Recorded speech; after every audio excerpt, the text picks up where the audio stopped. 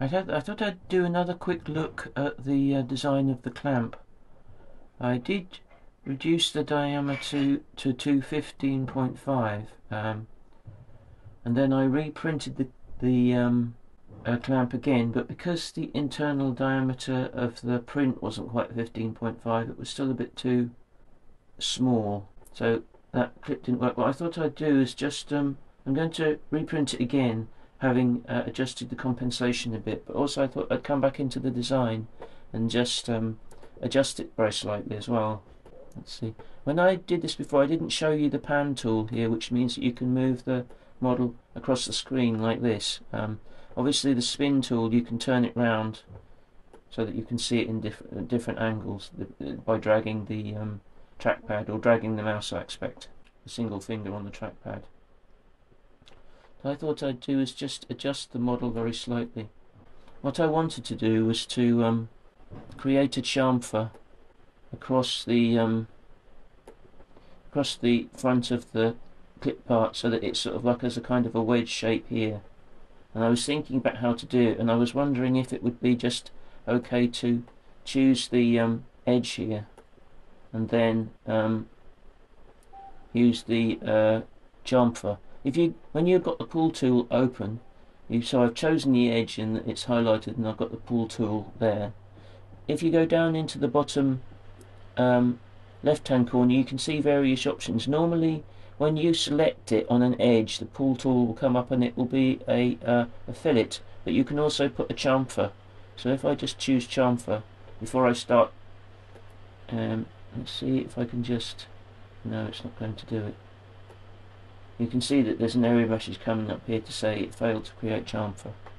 So I thought it might just have a go at the chamfer, but that hasn't worked. So what we can do instead is to make a sketch on this uh, plane. So we just um, choose the uh, select and select this plane and then go into the sketch. Select that plane and then go into the sketch tool, which is again up here in the middle. Choose the sketch tool and then um, do a plan view again to get it sort of upright. What I thought I'd do is, uh, if I can't do a chamfer, what I thought I'd do is just make a line. So I'm just going to take a line from the one of the points here. Because I want it to be symmetrical on the other side as well, there's actually a function where you can actually mirror the um, uh, so what I'm going to do is just make a line here, just a normal line in this along the center line of the object. Then exit out of that. Then you can actually select it and right click it. And then you can say set as mirror line. So if you then create something on the left side it will also appear on the right side as well mirrored on this line. So if I create a chamfer here or create a, a sloping line here it will then appear on the right side as well and it will be symmetrical.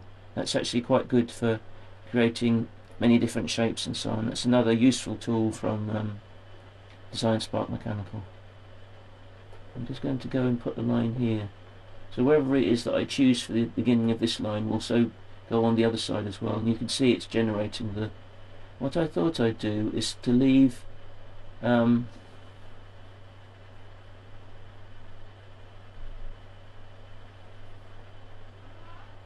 to leave three as it will be stronger. I think I'll create a cut here um, leaving three three millimeters at the bottom for strength and you can see it's done likewise at the top. What we'll need to do I normally do it a little bit longer than the the required uh, length just to make sure that we don't miss any bits when we actually go to cut it. Uh, so I'm just going to do that. So now I'll just create this line here what you can then do is to deactivate the the mirror tool as we no longer or the, the line that uh, so we first of all what I normally do is to just where it says set as mirror line on the right click I just take that tick out. So now it's no longer a mirror line. And then you can use the uh, trim away to actually um, delete the line itself as well. Uh, delete, possibly delete this line here and this one Sometimes it doesn't work. and it may mean that you can't delete it at all so you won't worry about that. Um, what, I may, what I might have to do is create a shape here a filled in shape or no it won't select it. So I think what I'll have to do is to create a, a closed sort of shape here like a, a surface. So I'm just gonna come into here. And this is the end of the line. I'm just gonna come across here to the other line millimeters hopefully we see. Back out into the don't know how yes it has. It has created the shape here uh, or the surface here now. So what we need to do is just um, just going to press the control button and select that and then also exit out of that tool. And I'll go to the pull tool. And I'll select that surface.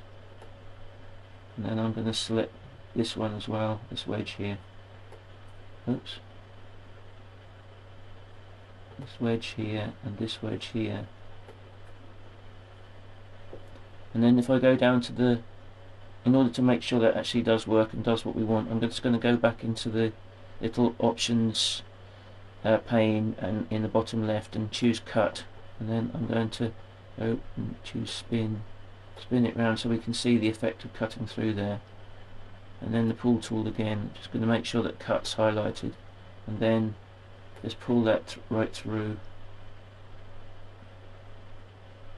And it didn't work.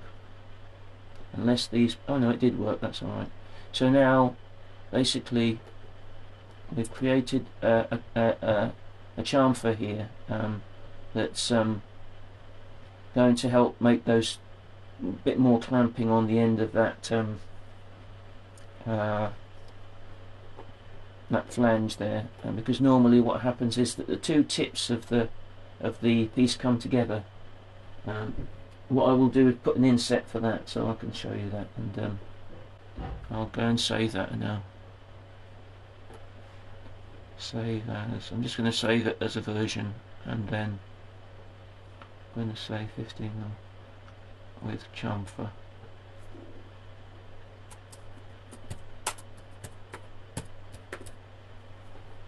and save Sometimes you can make a chamfer by selecting lines and sometimes you can't. So you have to sort of like then create a kind of a plane on the line of where you want the per perpendicular to the line where you want the chamfer to be.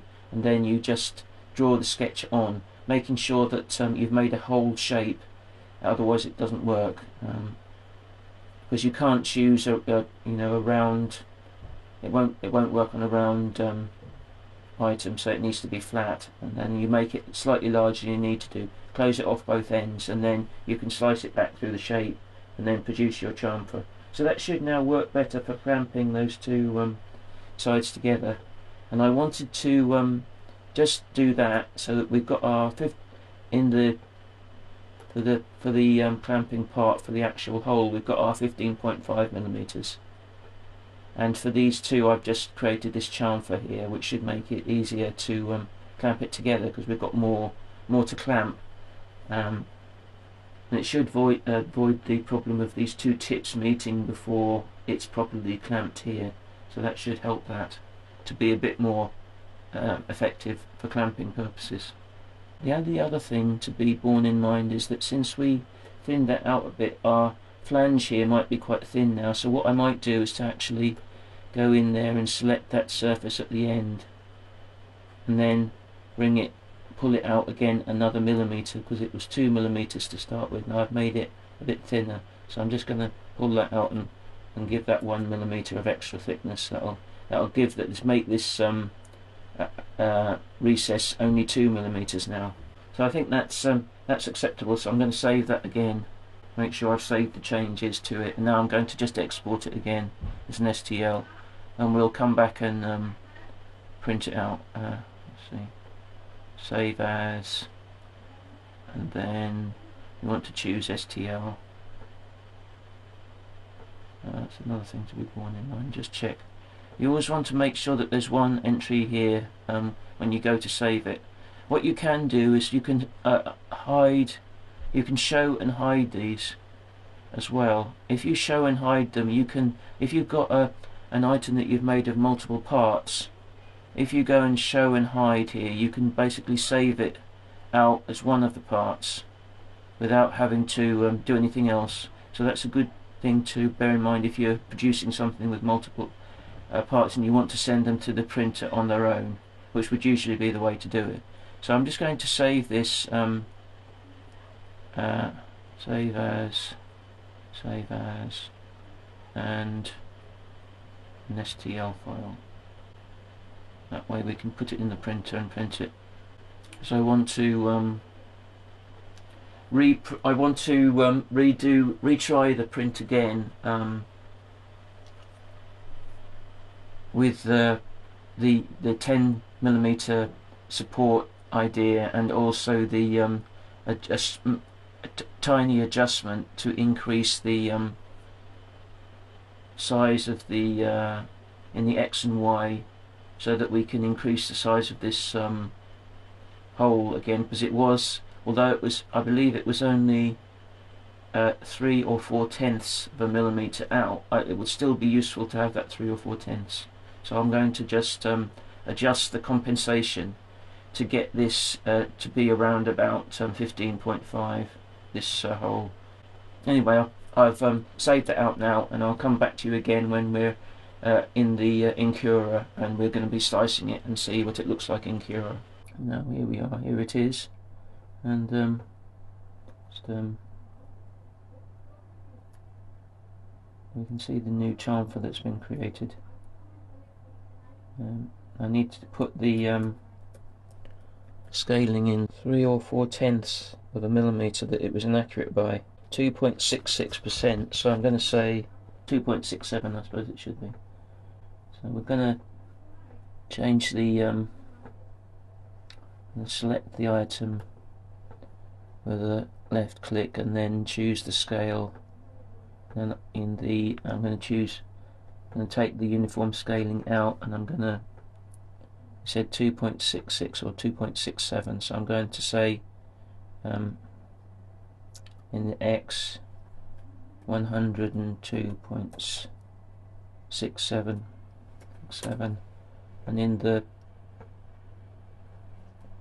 in the in the Y we're going to say 102.67 let's see there we just got that in there now so it mostly increased the um, uh, increased it in X and Y by um, 2.67% so I'm just going to to lift it off the bed as well we want to take out the drop model down box and we want to lift the Z by 10 millimeters. I've done that that should um, lift the model off the bed by 10 millimeters and then we can create support material to actually support that um,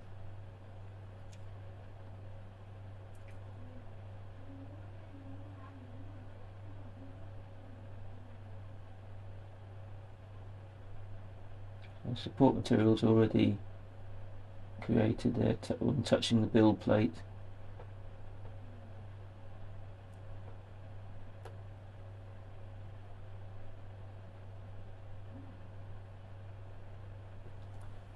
I'm also going to just go to support flow as well. We can find support flow. That's another thing with Cura if there's a setting that you can't find you can go up into the uh, search and search it. If we can do support flow because we could should really plan to make our support flow 80% which just basically reduces the amount of um, yeah flow is 100% support flow. That's, going to change that to 80% it just makes the support material easier to break away from the model. So I'm just going to make sure that changes okay and then I'm just going to go to support Z distance as well. That's the that's the distance between the supports and the um, first layer of a print. So I'm just going to go into support Z distance. It's already set at 0.2 because the layer height's 0.2 and I usually say that this isn't an automatic setting so you have to make sure when you use Cura that if you do use support material you always go and check support Z distance.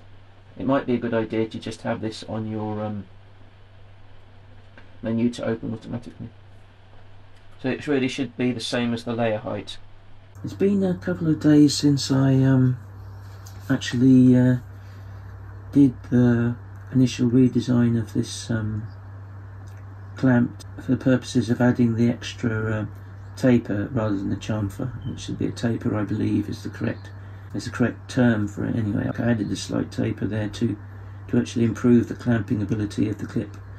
It's not completely right, but it's it's much better than it was. Um, I think I could fine tune it even more, but um, I, I was using an example in the CAD software and also in the slicing software.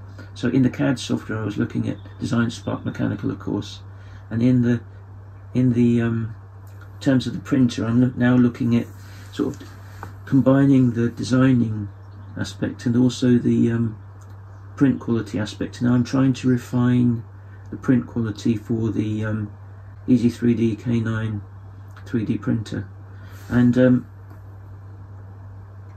looking at the model and you can see that um, it's on a platform of support material. I discovered after quite a, lot of testing and um, that if you if you want to get a, a, dimensionally accurate print for any reason, if you want something like we've done to match a certain dimension, this is particularly the dimension I'm looking at, the size of the um, head of the um, bolt recess and other things in the dimensionality, the the um, symmetric symmetrical nature of the print, you really need to put it on a little platform of support material. I've used 10 millimeters, but it's possible we might try and get away with 5 millimeters. But otherwise, even when the bed is properly leveled, I tend to get a kind of quite strong elephant's foot effect, whereby the, say, the bottom quarter or the bottom um, say third of the print is quite badly distorted it tends to have a quite strong elephant's foot which you can't get rid of with um, um, a deburring tool it's a bit stronger than that and um, and it kind of has a concavity in it as well which is possibly uh, part of the, the elephant's foot effect, whereas the, the there'll be a concavity between the top and the bottom. Um, though I've tried, I can't really quite explain this. However, if you put it on a 10 millimeter block of support material, this these effects go, and you'll now get a straight up and down side, and you'll get dimensional accuracy. Uh, and you'll also get a symmetrical print as well instead of the first sort of third of the print being compacted down you'll get a symmetrical print as well so I, I would recommend that if you are after um, a dimensionally accurate print on the uh, K9 you go for um, a little platform after all we, we have a hun we have um, 100 millimeters to play with and we're just losing um, 10 millimeters, which is 10% of our build volume. So in a way, it's not a great um, thing to lose, and also the amount of um, material used isn't great. You know, a huge proportion of the overall. Um, it uh, and it also doesn't add much to the print time nor to the energy consumption either because it's a very efficient printer to dealing with energy. It doesn't use any bed heating, etc. So all in all, it it does um, it, it does make sense to do it. Obviously, as a slight condition to this, you have to say that I have changed the the bed material of the printer to the Ender 3 bed and how it would work on the um, normal uh, K9 bed. So anyway, to get onto this, I've made a few changes to try to optimize the print and this is on the back of quite a lot of experimentation. I haven't gone through everything I've done because um, I, what I would rather do is to offer you a solution in, in what works rather than take you through all the, of the times that I wasn't able to provide the solution. The whole idea of my videos is to help kind of reduce the learning curve that you experience otherwise and sometimes learning curves can be a bit painful So this is these are the things that I've gone through. Um, the first thing is Z seam alignment. As you can see, the Z seam is shown as the white areas here. I just look for Z seam.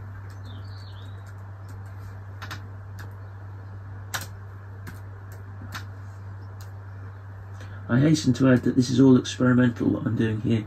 I've chosen to show you this one, whereas I haven't shown you the hundred other ones I've done because of the because I think this might be a significant um, improvement. So walls, um, Z seam alignment, I'm looking at shortest here. Um, before we were doing sharpest corner, I chose random, but again I didn't think that was, uh, uh, it didn't improve anything uh, for the quality of the print. So when I went for shortest, the Z seam went inside, it went inside the edge of this um, recess here and there's one a couple of places where it's now on the outside here at the top of the um, clamp here and uh, on this little uh, bit here. But for the most part it's gone inside oh there's a little bit on the edge here of this uh, the front part of the clamp and then a little bit down at the bottom here in the corner there. I'm just going to see how that affects print quality there may be the odd scattered bit. I think that's a bit of dirt on the screen actually, no it's not. So yeah. And there's a little bit on the edge of the hole here.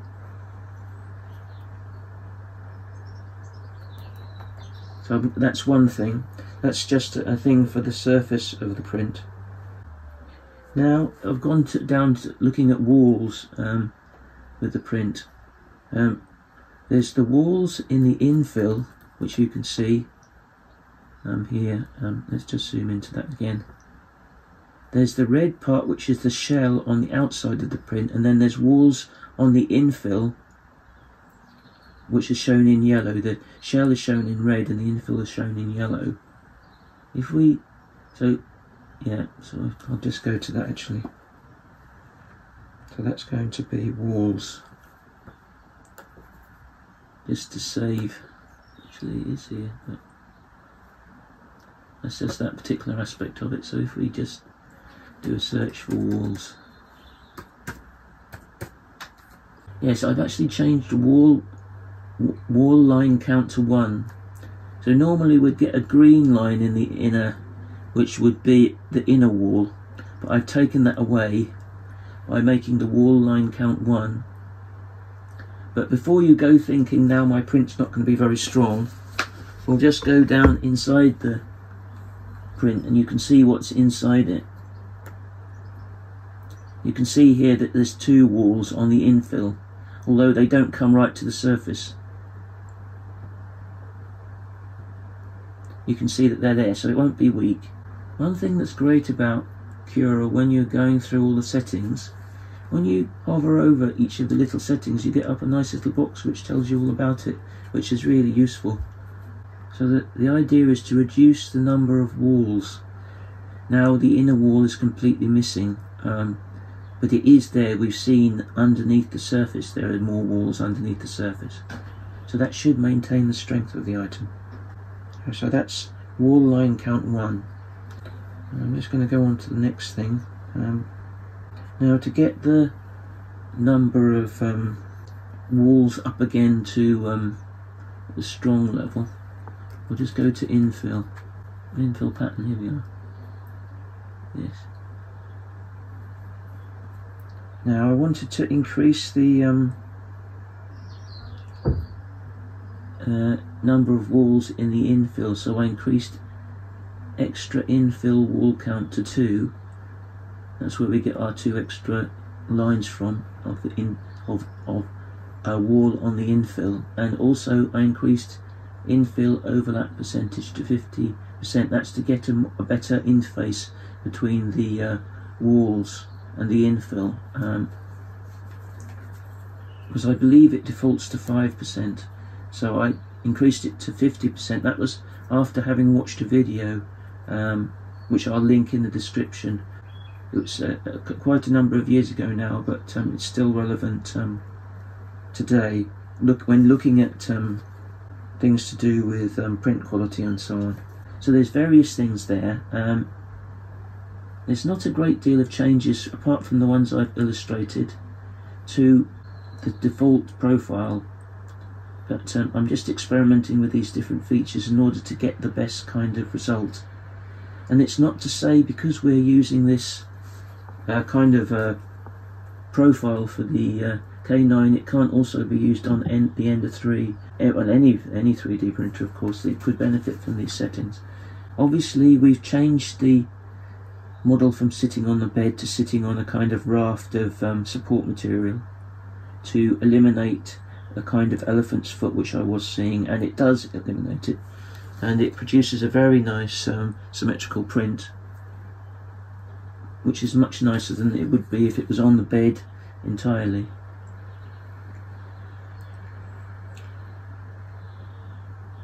And we've also sought to um, improve the uh, quality of the surface both on the top and on the sides. I believe that the um, Z seam was actually introducing quite a few um, unevennesses on the surface. So this is my final option to uh, put it um, to the shortest um, position to improve that. So you can see that I've still got the scaling. So this is the scaling on the X and Y because we established that um, uh, the dimensional accuracy wasn't perfect. This, this, is because of the nature of the flexibility of the um, top works of the printer. We have to add a little bit of compensation in. And this produces a dimensionally accurate print in the X and Y. I haven't put any compensation in the Z because I believe that the um, raising it off the bed has actually corrected the Z. I'm just going to save this out and then we'll come back to it after we've made the print. Right, um, I just wanted to look at cleaning the nozzle um, on the K9 and this same procedure would apply to any 3D printer. If you're going to level the bed of any 3D printer it's really very important to make sure the nozzle is clean first.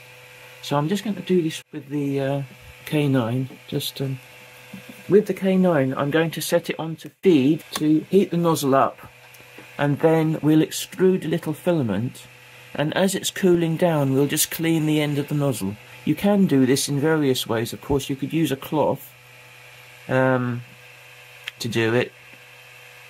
Or you could use a glove and what I normally do is to use a glove a leather gardening glove. And um, it will protect your fingers from the uh, heat of the nozzle so you can see it's now beginning to extrude and now I will then turn it onto um, the middle position and that will then cool it down again. And then what we can do is simply um, keep um, brushing over the nozzle until it's um, it's clean. What I normally do is do that until the, the, the filament begins to cool and that nothing more comes out of it anymore. And as I say, this um, technique is applicable to all 3D printers. really, it should be done before you even attempt to level the bed because you can't level the bed unless the nozzle is cleaned first.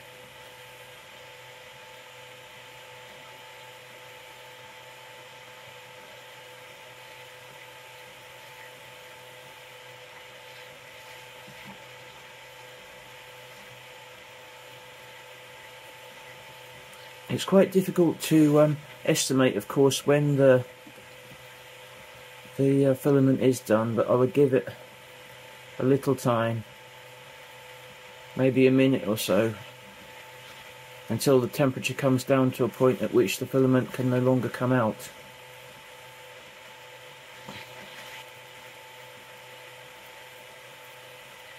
I think we can call that done now.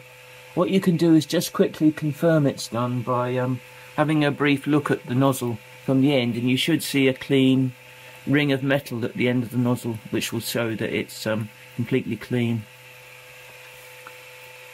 And then we'll go on to level the bed. As I've described with the K9 printer particularly, um, it needs to be done in a slightly different way because of the fact that the upper works of the printer are quite flexible, which means that the paper isn't pinched in the normal way it would be where the upper works of the printer are rigid. So I'll just go on to level the bed. Um, I want to just check The last time I used it, it was okay, and um, but I think it's necessary with this printer to um, check probably every time you do a print just to confirm, if nothing else. You certainly don't want to do a print and then discover that you, by not levelling the bed, you um, wasted the print.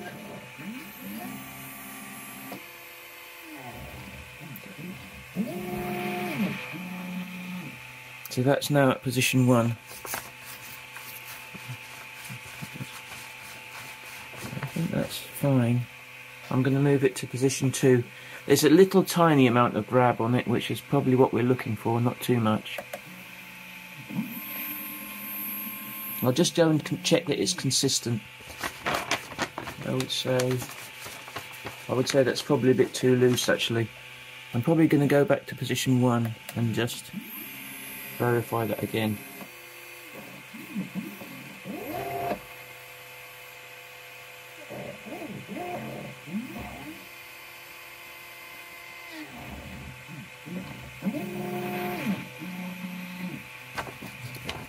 I would say position one is right. Um, just going to open it again. I'm going to turn it anti-clockwise until there's a slight grab. Yeah.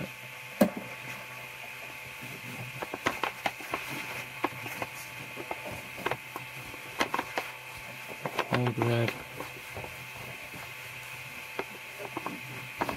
Slight grab.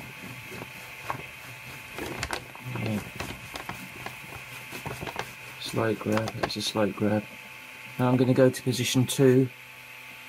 So once again to reiterate, I'm saying that you turn the adjustment knob clockwise to lower the print bed and then until the point where the, the paper isn't at all grabbed by the nozzle and then turn it back uh, turn it anti-clockwise again to raise the bed until it is just a slight grab on the printer paper and I think that would be the uh, most optimal position for the uh, print head to be with this printer. I'm going on to measure position 2 and then there's no grab at all with that one so I'm just because that's already turned clockwise I'm just going to turn it anti-clockwise until I feel a grab.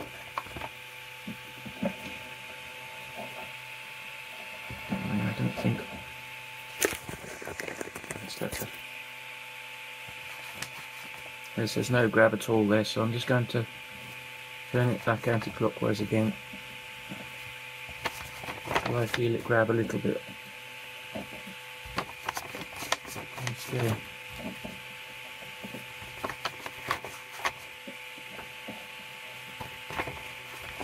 Still nothing.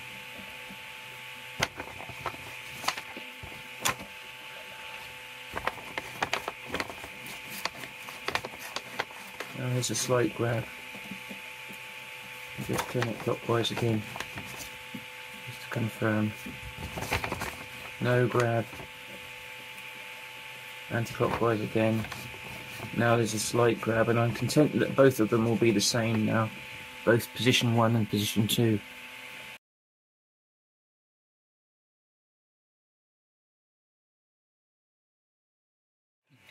So now when to start the printer you just um, lift the nozzle.